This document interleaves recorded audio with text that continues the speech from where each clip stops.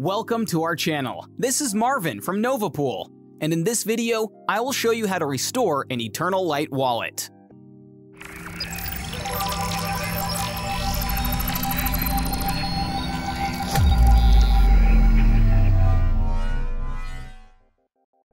We are in the main menu of the Eternl browser extension and will now restore a wallet. Click on Add Wallet to create or restore a wallet. Next, click on Restore Wallet to initiate the process. Then, choose which wallet you want to restore. I'm using a 24 words Shelley wallet here.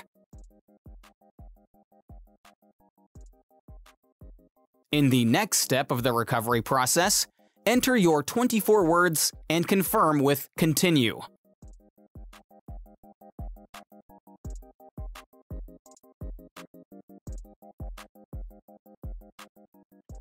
Choose any name for the wallet.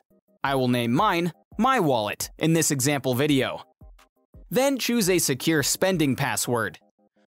You will need this later to sign transactions. The spending password must be at least 12 characters long in Eternl.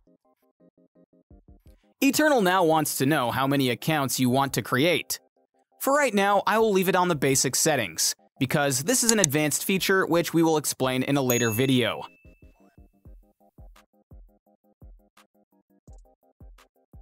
As soon as your wallet is displayed on the upper left under My Wallets, it is fully restored.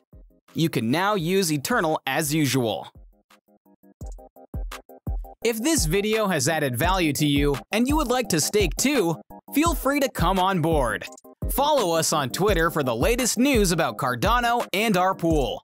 If you have any questions, feel free to check out our multilingual Telegram group. See you in the next epoch!